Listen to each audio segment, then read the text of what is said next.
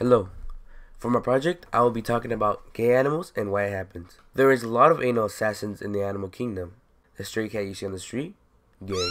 This dog, gay. That thing in the mirror, gay. I'm going to show you an example of what I'm talking about. Just watch this video. No, no, wrong video, wrong video.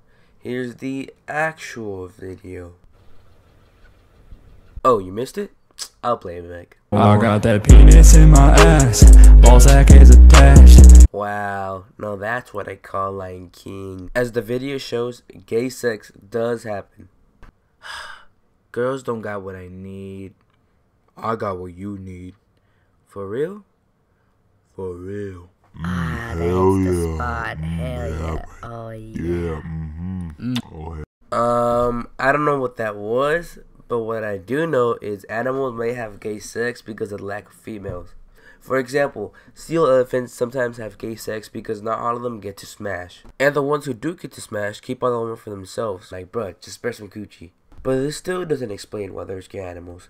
Bonobos are close to us genetically, and they do this thing called GG rubbing, where they dry hump with their clitoris. Female bonobos may do gay stuff, but that does not mean that they're necessarily gay. Another animal that has a gay relationship is penguins. Females have sex with males and raise a child in a lesbian relationship, kind of like sperm donating. Some scientists believe that animals are born gay. And no, I don't mean the gay genes. I mean some animals have different brain responses to who they want to smash. But not everything is explained why animals have gay sex when the entire goal of evolution is to reproduce. But that's all I know. I gotta go do something. Finally, I have all the infinity stones. Shut the hell up. Just shut up. I'm gonna need you to do something for me.